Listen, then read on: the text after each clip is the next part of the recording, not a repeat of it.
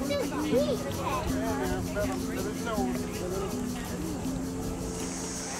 everyone, my name is Lindsay Partridge and I'm here today at Fort Erie Racetrack with two of my thoroughbreds. We're celebrating off-the-track thoroughbreds when they're done their racing career.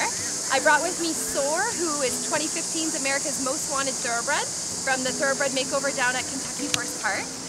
And she also raced here at Fort Erie, so it's kind of special for her. It's her first day coming back to the racetrack after finishing her career as a racehorse. And the other horse I brought with me is Bowdry, and he's my 2017 hopeful for the Thoroughbred Makeover this year.